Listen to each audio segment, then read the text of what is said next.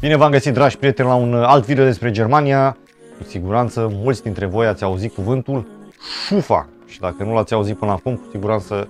uh, o să știți despre el și despre importanța lui. Deci, ce este șufa? Dragi prieteni, șufa vine de la cuvântul Schutzgemeinschaft für allgemeine Kreditsicherung. Uh, trebuie să vă imaginați, este o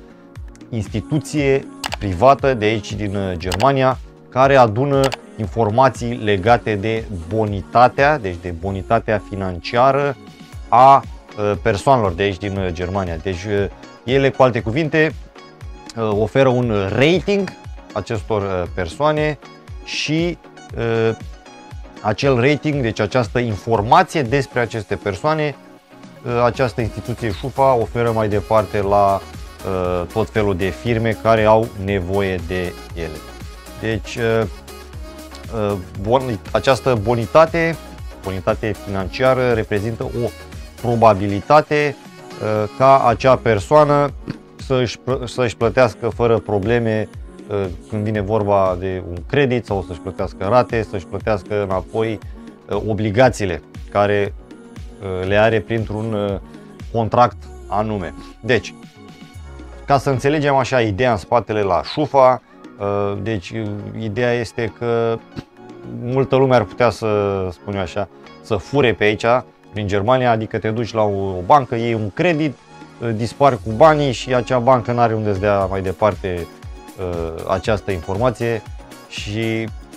atunci tu ai putea să te la o altă bancă și prin urmare putea să faci asta așa mai departe cu toate băncile. Tocmai de aceea există șufa, iar atunci, spre exemplu, toate băncile astea, când uh, au informații despre tine, că ai solicitat un credit, că ai un credit și așa mai departe, ele dau la șufa mai departe și atunci toată lumea poate să îți vadă profilul în cazul în care uh, dorește. Adică mai exact băncile și o să vedem exact cine este interesat de uh, profilul tău. Ca să știți, mai exact 67 de milioane de uh, persoane sunt în uh, baza de date a lui uh, Șufa din uh, sistemul lor și ei au undeva la 9000 de uh, parteneri, deci 9000 de firme de unde ei procură aceste uh,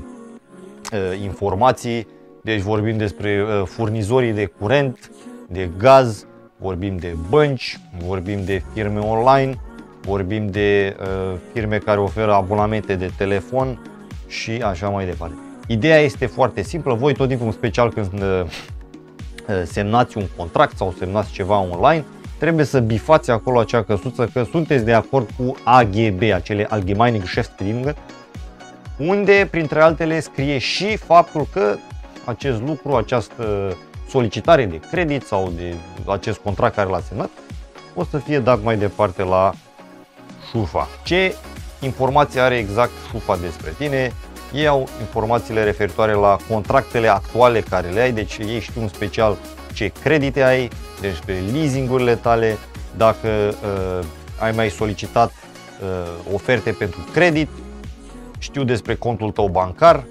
despre cardul de credit, dacă ai carduri de credit, de asemenea, abonamentul de telefon și acela este documentat acolo la, la șufa. Deci cum documentează șufa tot ce se întâmplă? Deci doar ca să înțelegeți așa cum stă treaba, în cazul în care există probleme la vreun uh, uh, contract, mai exact în cazul în care există probleme atunci când aveți un credit și nu puteți să plătiți o rată înapoi, acest lucru o să fie instant uh, documentat și dat mai departe la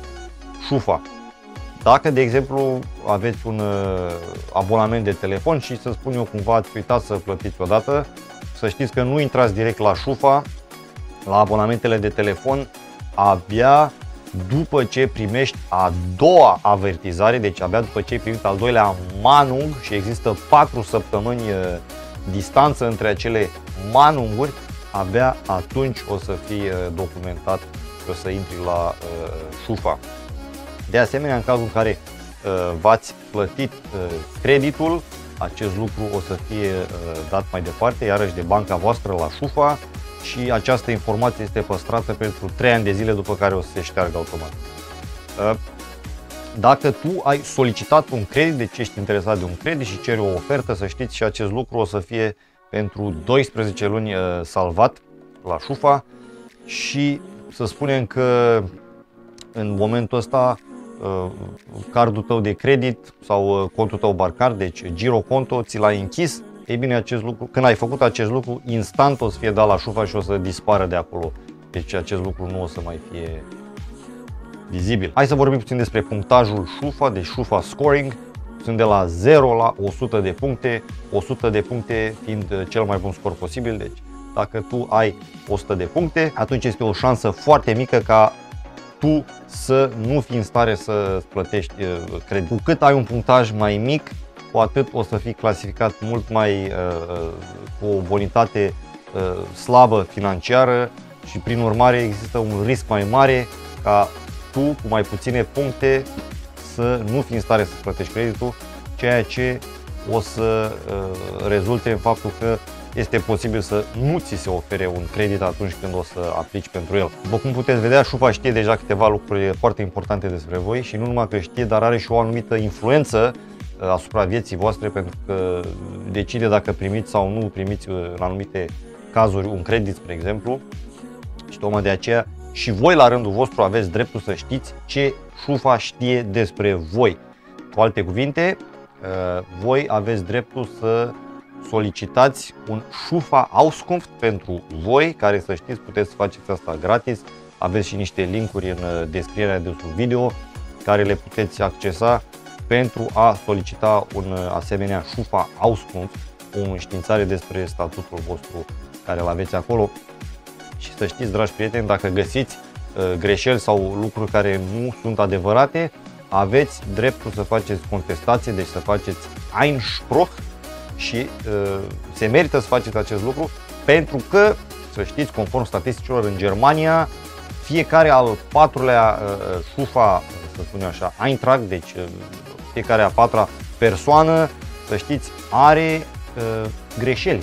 Și atunci aceste greșeli trebuie uh, scoase de acolo pentru că altfel uh, o să avem probleme din cauza asta. Și în cazul în care solicitați să se șteargă acel lucru,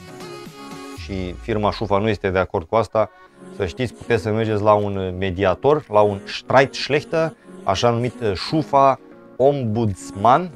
care el o să vă ajute, puteți să intrați pe Google, vă dau și numele în descrierea de sub video. Pentru a avea un șufa cât mai curat, uh, cel mai bine este tot timpul să respectați toate condițiile care uh, sunt scrise în contractul pe care îl semnați, iar asta implică să înțelegeți ce ați semnat și să știți de tot ce se întâmplă în acel uh, contract. De asemenea, tot timpul să vă plătiți uh, toate ratele la timp, în special ratele de credit, pentru că acelea sunt instant uh,